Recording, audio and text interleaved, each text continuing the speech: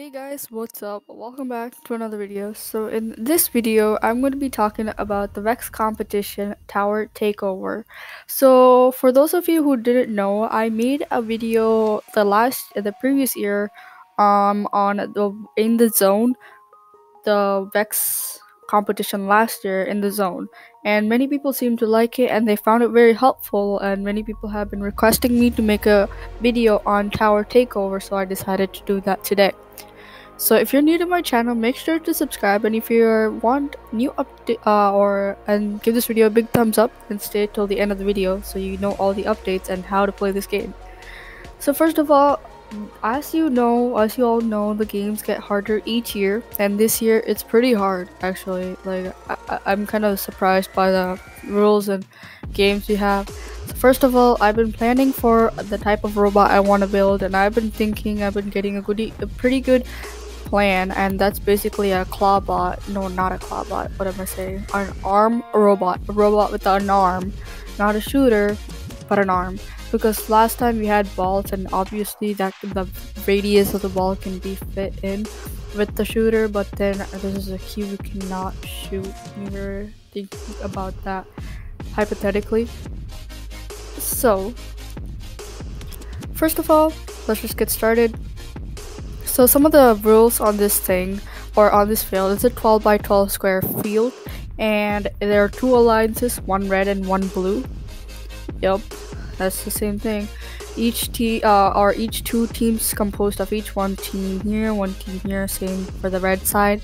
And then um, a 15 second autonomous period where there's no driver control, no drivers driving the robot, that's the autonomous and then 1 minute and 45 second driver control period where the driver gets to control the robot.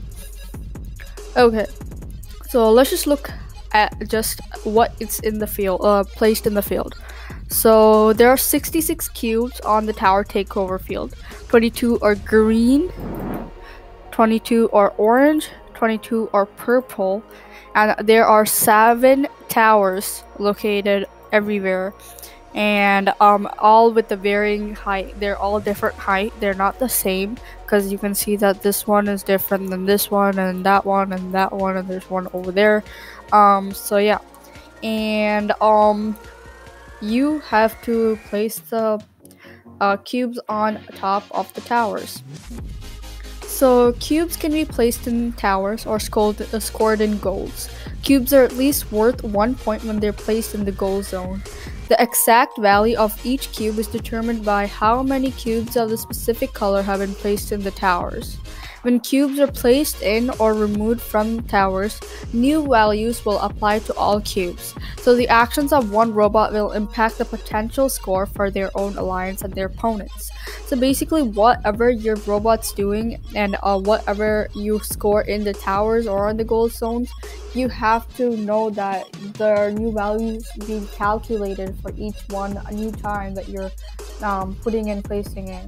And I'm not sure if there's like the last year, like where you have to, where new scores will be applied each time. You will be, um, y- you're taking everything off and all. I don't, I don't know if you get what I mean, but like, still, I'm kind of still confused about that because I'm still new to this. And, um, Another one thing I really like about this is have your um, is that the autonomous period is awarded with six bonus points if they're winning. The winning team will get um, a, uh, uh, so basically they win six points and the alliance who wins this bonus bo- uh, autonomous period is also awarded with two purple cubes, which may be introduced at any time during the driver control. So I'm kind of excited for this. So, and another advice might be have an autonomous period, guys. Like it's very important. And I've been we struggled. I know our team specifically struggled with this last year. Um, and I think it's best to have the autonomous. Once I get it figured out, I will make a video on that, but let me know in the comments below what you specifically need help with uh, in the programming section because I'm a programmer and a driver. So let me know what type of video you guys want me to make next in order to make it more helpful for you guys as well as me because I learn everything when I'm teaching you guys. So, and the scoring. It's simple.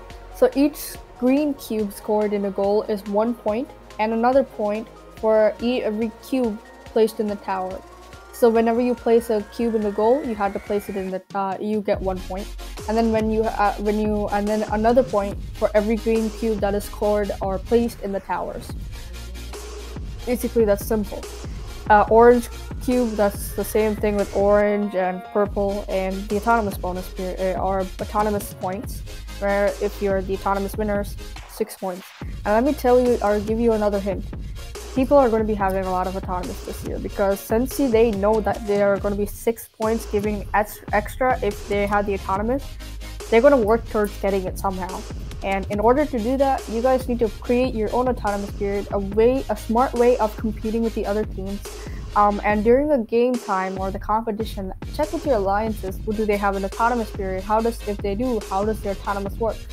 Or what is their game plan? plan out everything beforehand in order for you to be successful during the game and for you guys have a higher chance of winning because i've seen it personally where we don't do everything and we don't plan with our alliances or just in our team and ourselves we're not doing so great in the field so plan beforehand and ask your robots and your alliances uh, sorry not ask your robots um ask your alliances what they have what is their game plan and know everything beforehand in order to just realize and specifically do everything. This is going to make our lives much easier in terms of scoring.